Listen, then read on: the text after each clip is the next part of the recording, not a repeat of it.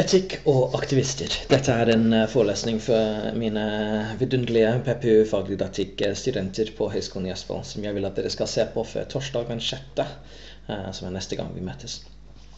Så vi skal snakke om eh, hvordan undervise i etikk. Og etikk og utdanning kan godt være en teoretisk størrelse også, til og med når vi snakker om case. Det kan være veldig så vanskelig for elever å kjenne igjen de prinsippene i sin egen hverdag.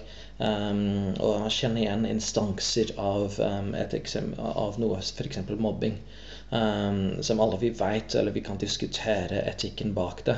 Uh, men det kan være like vanskelig å kjenne igjen hva som uh, er fenomenet, enn det er i um, etikken i det. Og da hjelper det ikke med så mye etikkundervisning du bare vil, uh, med mindre du klarer å tolke ditt eget liv.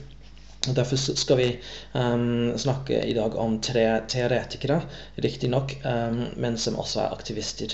Um, som tok stilling til menneskers uh, faktiske liv når det handler om um, etikk og utdanning, eller som er relevante for etikk og utdanning. Uh, de er uh, typisk 60-tallsradiser, og som typisk 60-tallsradiser så skrev de alle sammen i 70-tallet. Uh, så vi går til den første med en gang. Den første er uh, antageligvis den mest berømte også, Paulo Freire. Um, jeg håper han er satt opp på pensumlista deres. Hvis ikke, så les han fordi han er kjempeinteressant lesing. Han drev med leseopplæringsprosjekter i Brasil. Um, og i Brasil på den tida så var uh, lesekyndighet et krav for å kunne stemme. Um, I 62 så drev han med et prosjekt for uh, sukkerrørarbeidere, um, der de lærte seg å lese innen 45 dager. og Dette ble såpass radikalt og um, nytt og interessant og imp imponerende at folk prøvde å bruke hans teknikker over hele verden. Han, uh, han, er mest berømt for bankingsteorien av, av pedagogikk, eller kritikk av bankingsteorien, der den mektige læreren han eier veldig mye kunnskap og bare overrekker til, til en elev. Um, han kritiserer det og sier at uh, eleven må, liksom, må finne ut av de, uh, ting uh, sjøl, og de må utforske sitt eget liv, og de må bry seg, bry seg om de tingene som de undersøker. Fordi hans metode um, innebar både en uh, leseopplæring, men også en demokrati, en um, aktivisering, at folk skal um, bry seg om det de leser, at, de skal, at det de leser skal hjelpe dem til å være politisk politisk aktive. Um, så han, han, skrev ned sin teori um, da, i 1968, uh, og den het uh, 'De undertryktes pedagogikk'. Uh, den er utrolig interessant lesing. Den er en glede han, til å lese. Han er god til å skrive. Uh, men det, det, er utrolig morsomt, fordi han er en ekte radis. den er veldig stueren nå i pensumlister over hele landet, men han um, spleiser inn teorier om uh, bankingsbegrep uh, med sitat fra Lenin og den slags ting.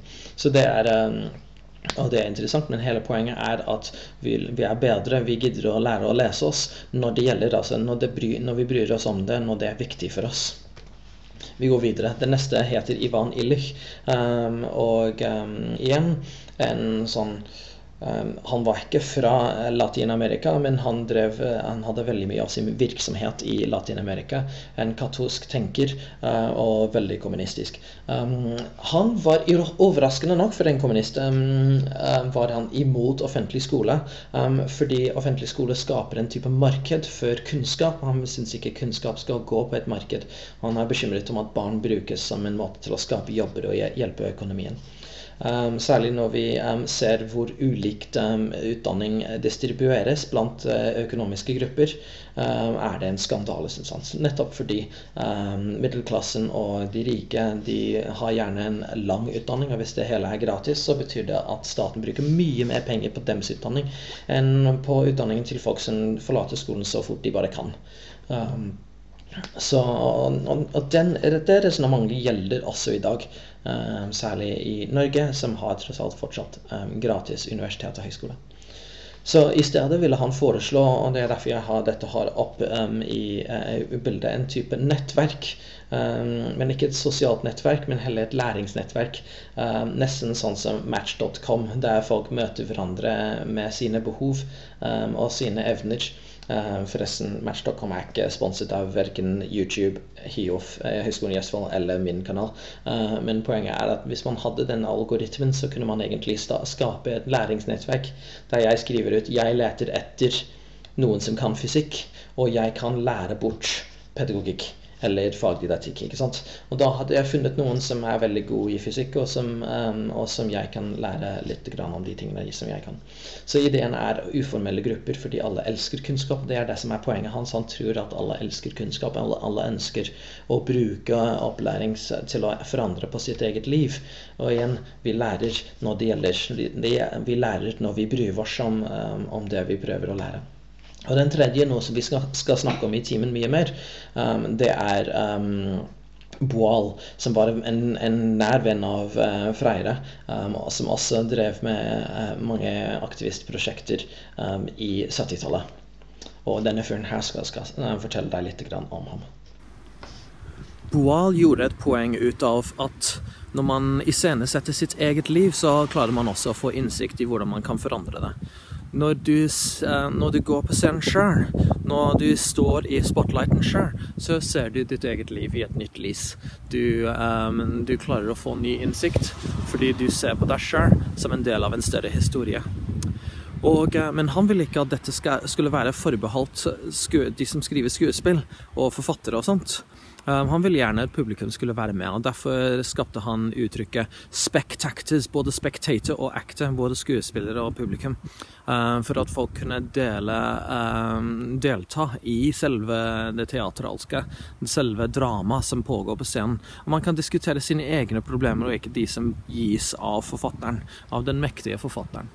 Og på den måten, ved å delta i scenen, så kan de være med, de kan være kreative når det gjelder. Fordi dette er ikke noe fremmed. Dette er eh, publikummets egne problemer og eget liv det handler om. Da drar de hjem med en frigjort sinnstilstand og tenker at de nå er forfattere i eget, eget liv, istedenfor å bli regissert av andre. Med andre ord, læring funker. Læring er nyttig, og læring um, um, er effektivt når det er rammealvor. Når folk um, er engasjert i det. Men også når læreren appellerer til folks interesser, og gjerne de interessene som faktisk gjelder, som er viktige for oss. Politiske interesser, interesser om hvor vi vil i livet, om hva vi skal gjøre med vår karriere, med hvordan vi skal få nok penger til å fø våre barn og den slags.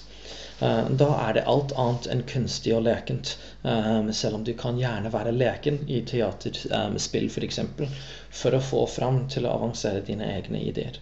Eh, så vi kan bestemme oss Um, om å handle konkret og politisk i skole også.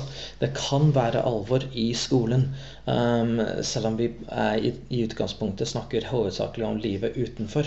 Så når vi begynner å snakke om aktivisering av vårt eget liv, om hvor vi ønsker å være og hva vi ønsker å gjøre, um, og hvordan um, våre liv er utilfredsstillende og hvordan vi kan gjøre dem bedre, da er det viktig med etikkundervisning. Da er det viktig med samfunnsfagundervisning. Fordi det er sant. Vi kan lære når det gjelder.